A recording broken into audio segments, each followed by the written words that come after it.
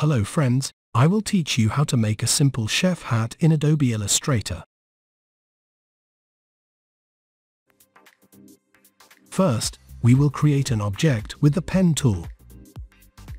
Click the pen tool on the tools bar, then click the pen tool on the artboard to form a simple chef hat like this.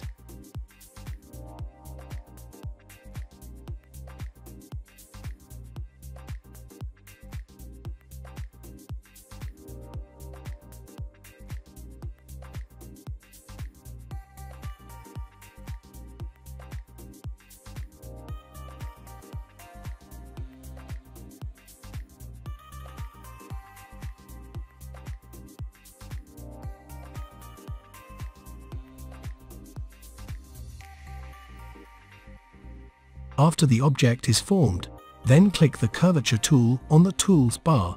Click on the line that has formed the object, then left click and drag like this. The curvature tool is for creating new anchors. When you create a curve, you actually create a new anchor.